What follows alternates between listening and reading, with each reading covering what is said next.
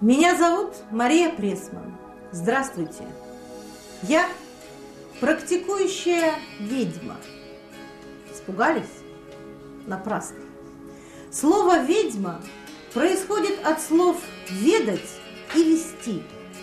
Вспомните старые сказки, которые нам читали в детстве. В избушку к ведьме приходит заблудившийся путник в трудный период своей жизни в поисках ответов на самые сложные вопросы, в поисках своего пути. И что он получает? Он получает клубок с путеводной нитью.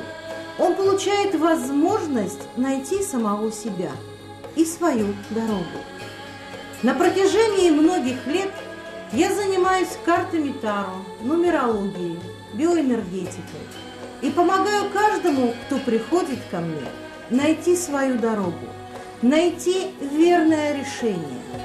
Более того, я стараюсь научить каждого управлять своей судьбой.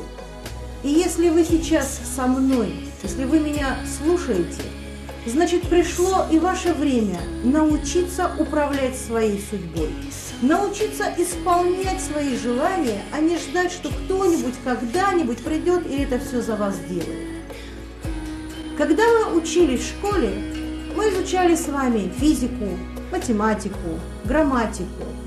И одному очень важному предмету нас все-таки не научили – умению жить. Умению жить гармонично – свободно, счастливо.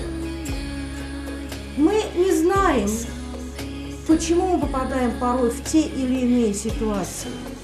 Почему в нашу жизнь входят люди, с которыми мы потом начинаем конфликтовать. Хотя, казалось бы, в самом начале вот такие отношения, такая дружба, такая любовь, такие надежды. И вдруг в какой-то момент они разрушаются. Кто-то виноват или что-то виноват. Для того, чтобы это определить, у нас существуют такие инструменты, как нумерология и карты Таро. Нумерология позволяет просчитать индивидуальный код судьбы и удачи, посмотреть, что, когда можно и стоит начинать, и что, как можно изменить в жизни человека, чтобы жить немножечко легче, немножечко счастливее.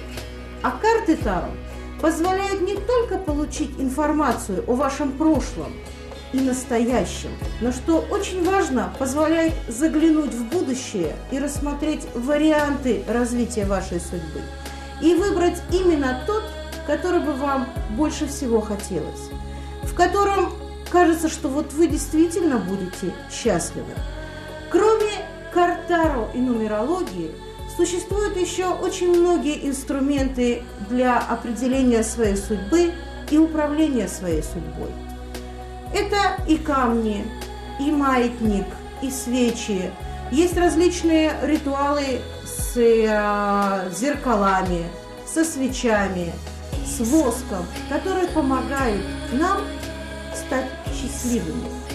Именно этому я хотела бы научить каждого из вас – управлять своей жизнью, исполнять свои желания, чтобы вы могли в любой момент вашей жизни знать, что ваша судьба и ваша удача с вами. И если это вам интересно, то мы обязательно продолжим разговор об этом.